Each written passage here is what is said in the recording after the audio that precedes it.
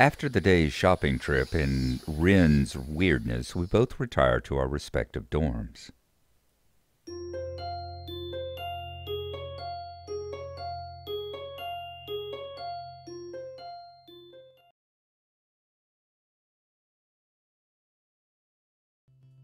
The students roll into class for the Saturday morning session, each and every one of them sporting the tired eyes of people who've worked through the night.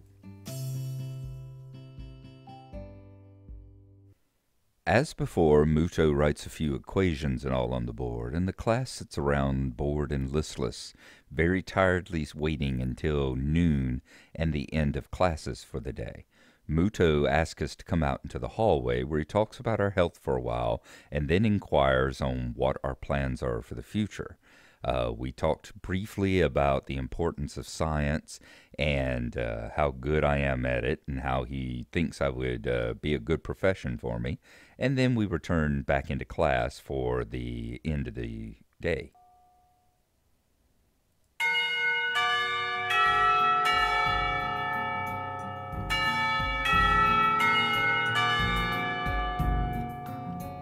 The clock on the wall slowly ticks the remaining class away until finally the bells cry out, ending the torment.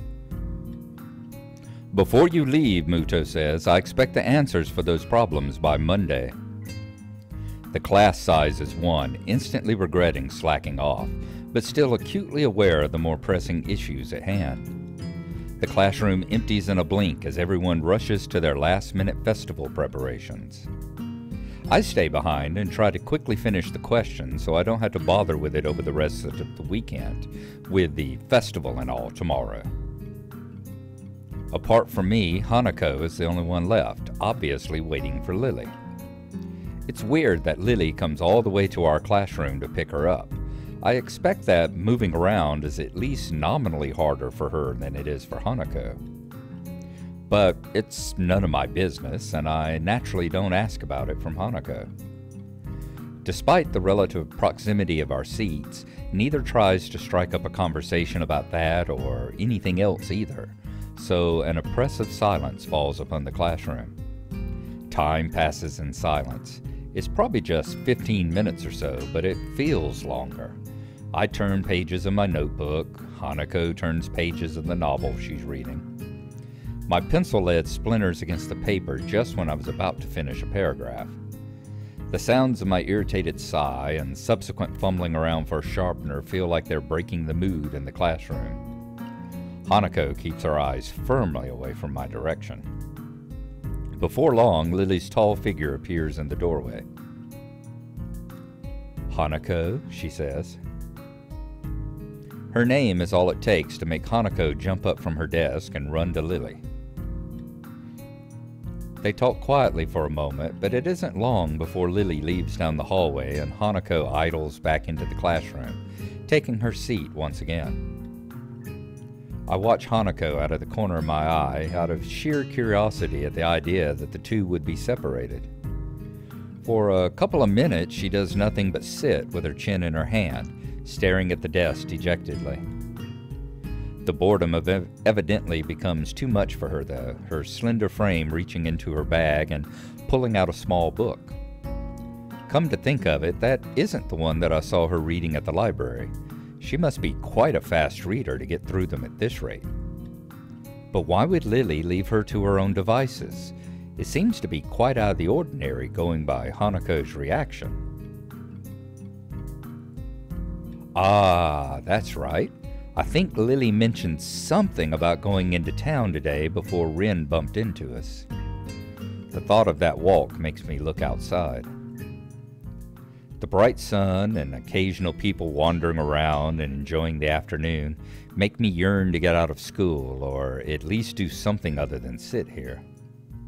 Giving in to one of my worst vices, procrastination, I decide that history is a subject best studied on a Sunday or a Monday, or on any day other than this one. I give a grunt as I lever myself out of my seat, briefly debating with myself whether or not to hang out with Kenji. He doesn't strike me as the enjoying the nice weather outside with others kind of person, really. I guess I'll catch up with him later. Changing tacks, I briefly entertained the idea of talking with Hanako, but by the time I look at her seat, it's vacant. She must have left for the library. There's got to be something to do that can kill the time. The library seems as good a place as any to go. Hanako looked as if she was taken pretty off guard by Lily leaving, so she might want someone to talk to. Slinging my bag over my shoulder, I make my way out of the classroom.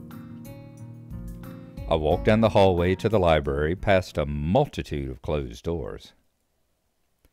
Through each one of the sound of furious rehearsal can be heard. Rock music blares out of one door almost as loud as a concert. I guess that's one of the advantages of a private school. There are actually enough rooms to go around at a time like this. And when I think about it, the grounds and the buildings of the school are kept in pretty good condition. That can't be too cheap. I've heard that this place has some pretty serious benefactors. The walls of the library only partially insulate the noise of the festival preparations, but they're the only sounds to be heard. Not a soul stirs here, with everyone apparently enjoying the weather outside or working on festival events. Yuko isn't here either. Maybe she doesn't work on Saturdays. I quietly walk through the library, now fairly familiar with its layout. I head to the back where Hanako's private little corner is. I run my hand along the spines of the books on the way through, feeling the individual texture of each as I glance across the titles.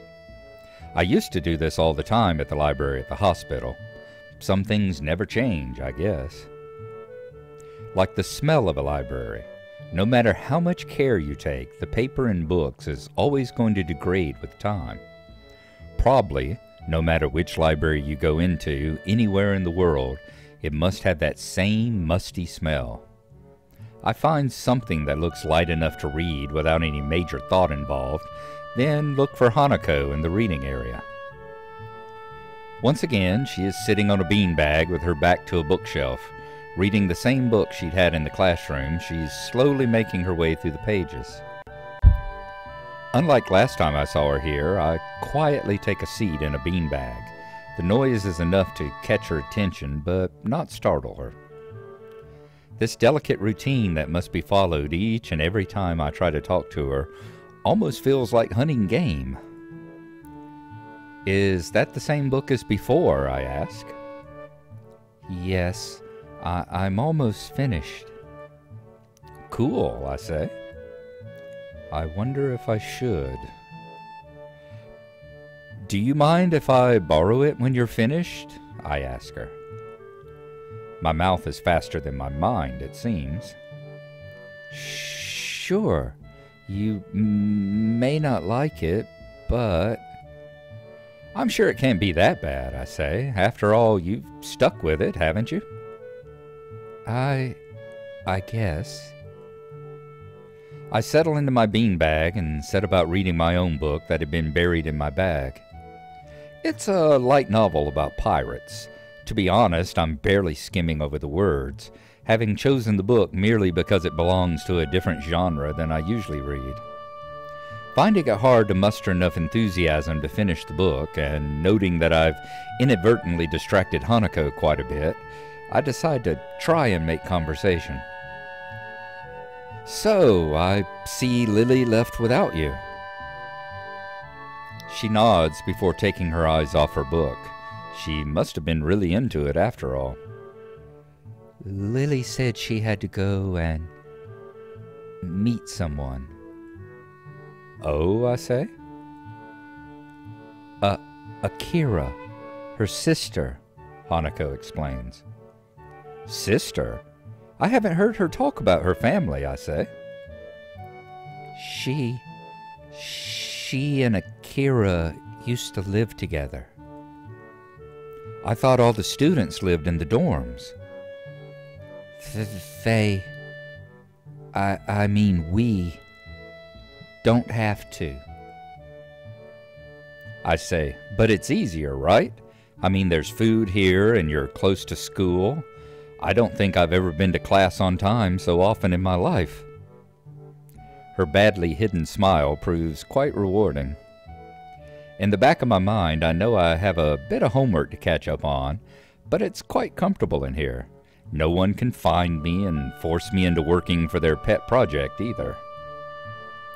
Though now that I'm thinking about the festival, uh, another question comes up. Hey Hanako, I ask, what are you doing for the festival? For a split second, I think that Hanako is about to throw her book in the air from shock. Sorry? I was just asking what you're doing for the festival tomorrow. Anything planned? Uh, I don't know. Hanako answers in the way that people do when they don't want you to ask any more questions. I take it large crowds and loud music aren't really her thing. Oh, okay, I say. Change the subject, change the subject. So, what's Lily's sister like? She's. she's nice. She's pretty like Lily, but she dresses businesslike. Businesslike, I ask? She's. She's always wearing a suit. Ah, I see. And that makes her less pretty somehow. Hanako gives an embarrassed shake of her head. No, just different. I'll admit it, this has got me intrigued. To hear Hanako talk about someone other than Lily is a first, and to be complimentary about it too.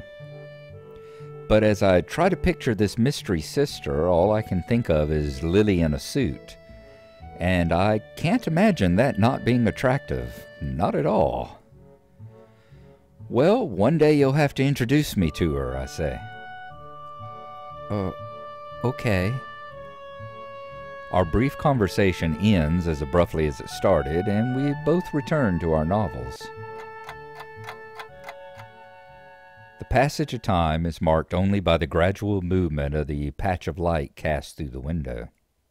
Slowly, the noises from the various rehearsals in the building fade out and die as students start to get hungry and tired. Just thinking about that makes my stomach start to turn knots around itself. I think it's time to head back. Do you think Lily would be back by now? I think I might head back to my dorm. I'm pretty tired from this week. And not a word of that is a lie. Moving to a new school as it ramps up for a major event has been taxing, to say the least. I feel myself nodding off as I read my book.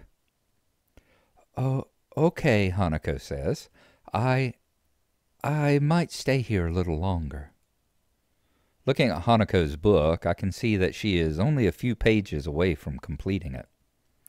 For a moment, I consider hanging around until she finishes, but once again my stomach turns, emitting a gurgling sound. Sure thing, I say. Well, I'm going to head off before it gets dark. I'll see you around, okay? Oh, okay. See you, Hisao. Later. Hisao? Hmm? Th thank you for hanging out with me.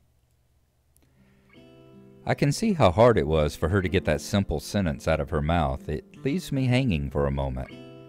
So, there is someone in this school who is even lonelier than me. Well, maybe lonely is a wrong word. I haven't been lacking company for this first week, but I've still managed to feel somewhat alone and detached. Maybe lonely is a wrong word for Hanako, too. She has Lily after all, doesn't she? I realize I've been standing there far too long without answering and pull off a flawless, not too exaggerated smile. You're welcome, I say. Good night, Hanako. Night. I leave her to finish her book and head back to the dorms and the promise of food.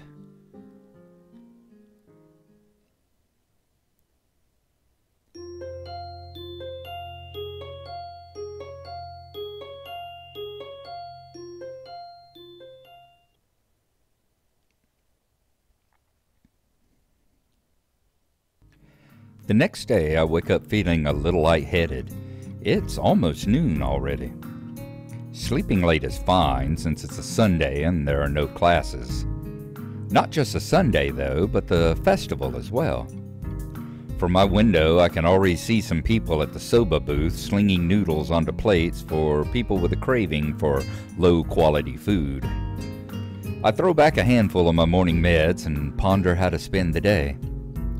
There will be a few exams in the coming week, but I don't consider those as ominous as others, so I'm not as worried about them as I probably should be. With no urgent obligations regarding education, I should be free to spend the day at the festival as I like. Finishing my morning routine, I exit into the hallway, intending to go out and find something to eat.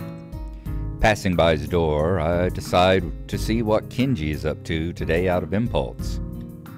I'm curious if he has any plans since everyone is doing something. Then again, I can picture him having built a soundproof shelter in his room. Or possibly something like a fort complete with a no girls allowed sign, and with the girls crossed out and bodies crudely scrawled underneath it. Knocking on his door, which is luckily devoid of any kind of sign, I hear again the unsettling clicking of at least ten locks being pulled back. The door opens up a crack. The conversation with Kenji continues like in the Emi path until we talk about his class. What are you going to do? We should hang out in here. You can help me build my fort. We might still make it if we work together. I don't know, I tell him. I'm pretty hungry, so I thought I'd go get some food first and then check out the attractions. Your class project seemed pretty cool, and I gave a hand with it, so I want to see at least that one and chat with Lily, I guess. Speaking of that, don't you have any obligation for the project? Are you out of your mind? That blind broad is up to no good. I can feel it in my spleen, man.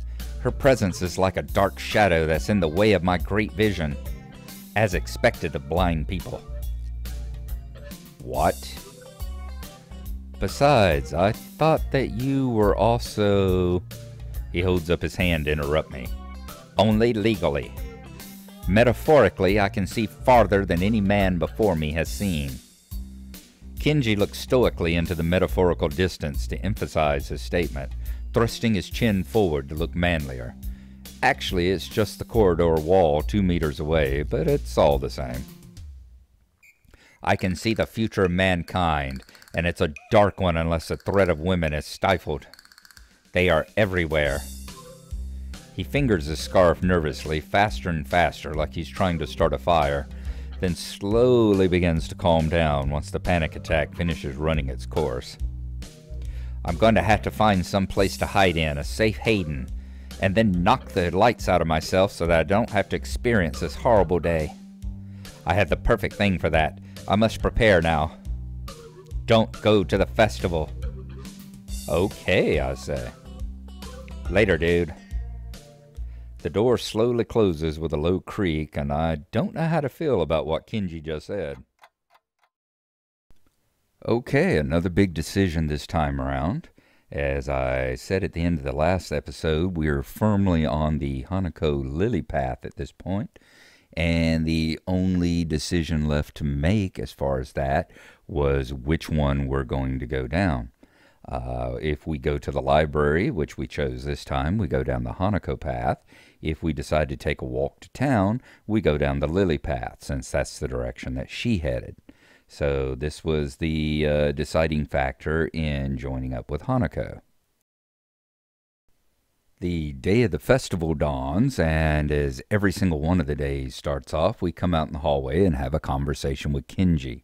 Uh, pretty much most of the conversation, probably about three fourths of it, is exactly the same every single time. That's why I went ahead and cut it out. We saw it all in the Emi path, where he talks about being surprised by it and how he doesn't finish his fort and he doesn't know what he's going to do because there's going to be people everywhere, etc., etc. Uh, the difference comes in depending on which girl we are seeing.